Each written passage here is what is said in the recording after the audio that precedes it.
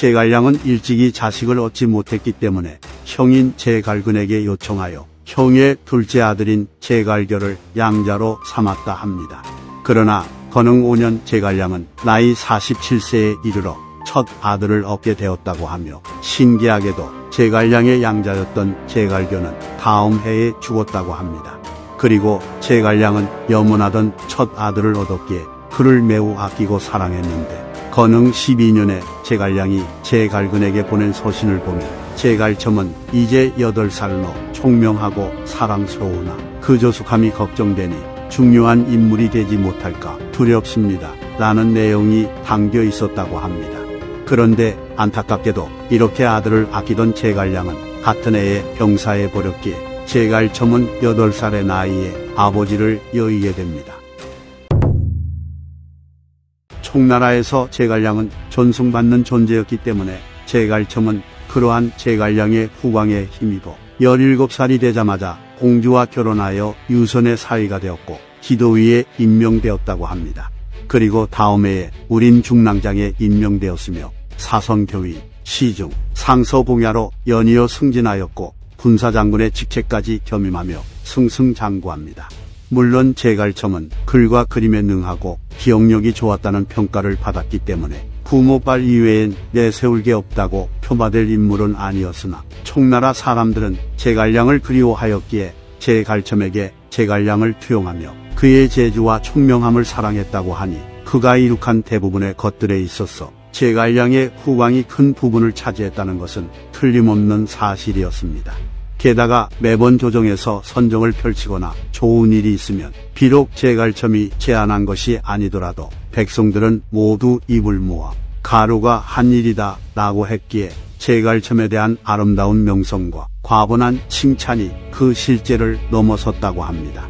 경력 원년 제갈첨이 처음으로 조정의 일을 통괄하게 되었는데 그 위세가 어찌나 대단했던지 노신이었던 요한은 종예를 찾아가 함께 제갈첨에게 얼굴 도장을 찍자고 말했다 합니다. 그러자 종예는 요하에게 우리 나이가 70이 넘었으니 욕심 부릴 나이는 이미 지났고 죽을 날도 머지않았소이다. 그러니 지금 어린애에게 직접 찾아가 구구절절 이야기를 들어놓아 봤자 무슨 소용이 있겠소? 라고 답했다 합니다. 경료 6년 종해 등해를 위시한 위나라 대군이 청나라를 정벌하기 위해 진격해왔고 이에 강유가 분투 끝에 종회가 이끄는 위나라 본군의 진격은 막아냈지만 그 틈을 타 등해는 험난한 우회로를 통해 진군하여 청나라 영토로 진입하는 데 성공합니다.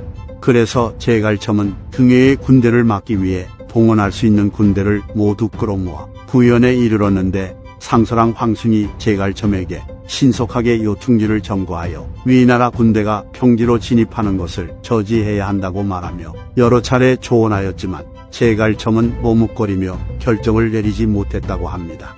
결국 제갈첨의 군대는 평지로 진입한 등해의 군대에게 패하여 면죽으로 물러나게 되었고 이때 등해는 제갈첨에게 사신을 보내 만약 그대가 투항한다면 반드시 표를 올려 낭야왕으로 삼겠소라고 말하며 투항을 권유했다고 합니다.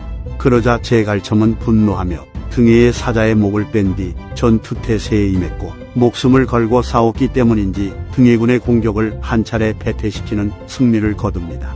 하지만 등해군의 상황도 퇴각할 곳 없이 목숨 걸고 싸우는 것은 피차일반이었기 때문에 등해군은 다시 전열을 가다듬어 제갈첨의 군대를 공격하였고 이 전투에서 제갈첨은 등해의 군대를 이기지 못하고 패배하니 그는 37세의 나이에 전사했다고 합니다.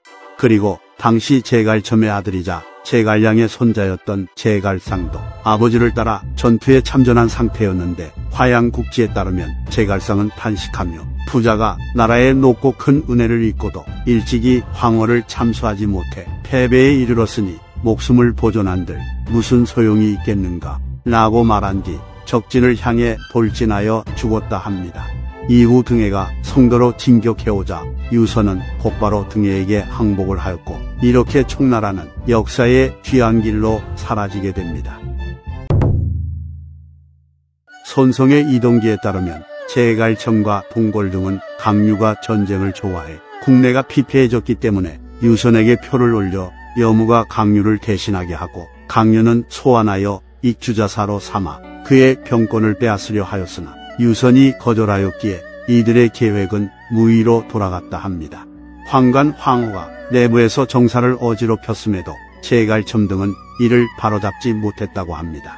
혹자는 정사 삼국지의 저자인 진수가 제갈첨을 겉보기나 좋을 뿐 실력은 이름만 못하다고 평가절하한 이유가 과거 제갈첨이 진수를 가볍게 여겼던 일 때문이라고 말하며 진수를 비방했다 합니다.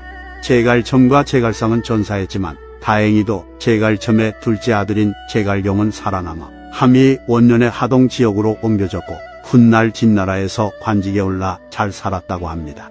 이상 삼국지 인물열전 제갈첨편 마치겠습니다. 재미있게 보셨다면 좋아요와 구독, 알림 설정 부탁드립니다. 감사합니다.